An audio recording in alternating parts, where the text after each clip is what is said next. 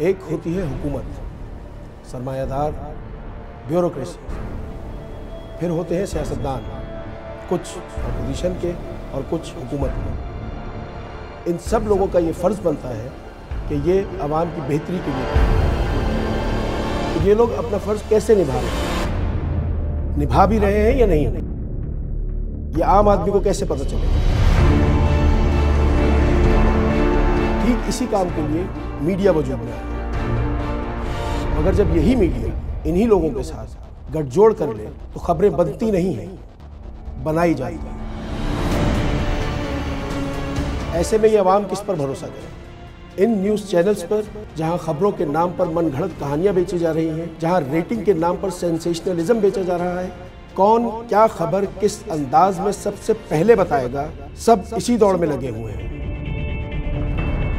मगर हम इस दौड़ से बाहर हैं हम करेंगे बेला तबसरे और तजिए दिन भर की अहम तरीन खबरों पर। और बताएँगे ये सब पीर से जुमा, रात दस दस।